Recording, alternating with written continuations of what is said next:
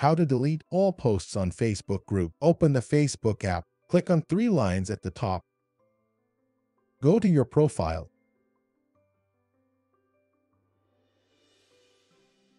Click on three dots. Click on Activity Log.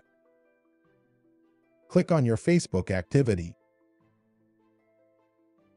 Scroll down. Click on Groups. Click your group membership activity. Select a group by clicking on three dots. Click on Delete your activity. You will see confirmation message regarding deleting all your posts from group. Click on Delete. Confirm with password. Write your password.